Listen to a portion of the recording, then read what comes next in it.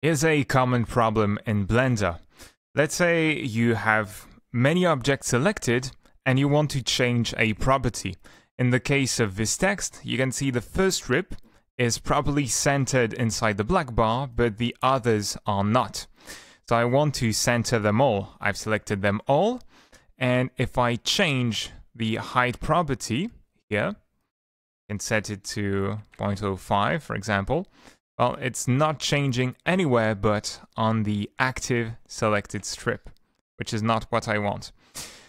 So to change parameters in batch like this, uh, if you don't have an add-on that does it for you, you can use Python. It works with anything inside of Blender. It's not the easiest to do if you've never done any programming, but it's fairly efficient. So let's take all the strips first. We have to select them all for the trick to work, ideally. And you want to open a Python console in one of the window. It's the first option at the very top of the window type selector. Click inside the uh, little bars. You know you need your cursor to be over an area for it to work. And we'll start by importing the Blender Python library. So in Python, you must import certain features before you can use them. For Blender, it's import BPY. Um, then we want to loop over all our selected sequences and change one property on them. So for that, we're going to use the for keyword. It starts a loop and it's going to target every element inside our list of elements. In this case, the selected sequences in the sequencer. So we start with the for keyword to start the loop, and then we give a name, an identifier, to the element of the list that we are going to target on each step. I tend to use S for strip or sequence. It's short to type. And then we use the in keyword to say this is each sequence for each sequence in a list of sequence. So this list is Blender, the BPY library that's going to provide it for us. By BPY dot, we go down a level, and we're going to call the context. Um, Blender works this way where it stores a lot of data about the current context. So currently, we have things that are selected. All the things that you select are stored inside the context can add another dot to go down one level and start to type selected sequences. Uh, that's what we are looking for, selected underscore sequences.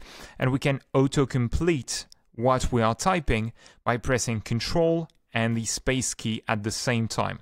Blender um, will complete up to as much as it can. And then you have a list of things you can add to complete the sequence. So you want to finish typing selected underscore, type the first S and press control space again to complete it. Okay, so for each sequence in the list of selected sequences, which we access with bpy.context.selected sequences, add a colon, press enter, that's the first line, and now we are inside this block. So inside the loop, the S will be each of these sequence. It's going to be the first one, the second one, the third one, and we're going to work on each of them one after the other.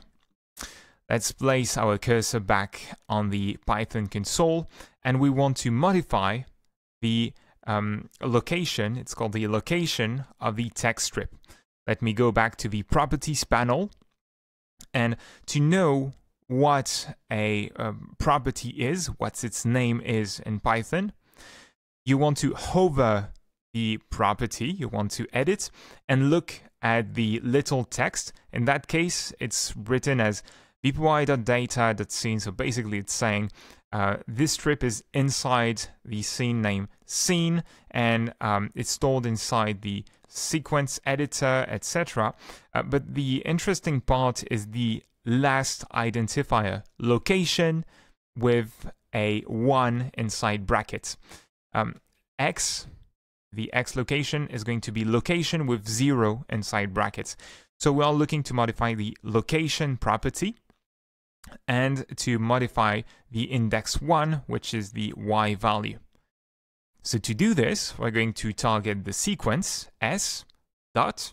We're going to use its location property and then open bracket 1 to target the y value. Set it equal to 0.03. This is the value that works in my case. So you press enter once and a second time to confirm that's what you want to do as part of this loop. And then you can see on the right side the value updated. And if we go over all the sequences, they all updated.